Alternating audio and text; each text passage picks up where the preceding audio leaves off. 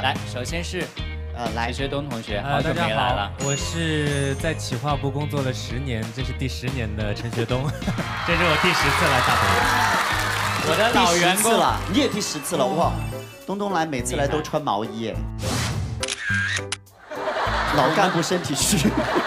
那我今天带了根线来，你知道，我特别想把你给放了，你知道吗？像一个风筝一样。好，下面是我们的河神，欢迎。企划部的李现同学。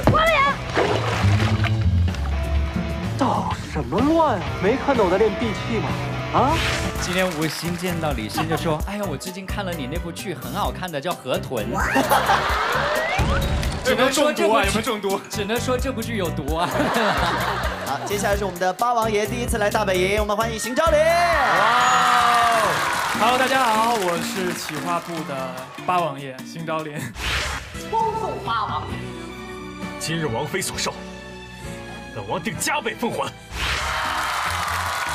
现在最热的两部剧啊，那个《河神》《双世宠妃》都在你们组。对，还好我们这边也不不输，我们这边有 有帅妈的妈妈，你们那边的优势是我帅吗？们这边的优势是颜值和年轻以及身高，我们这边平均身高一米八，对不对？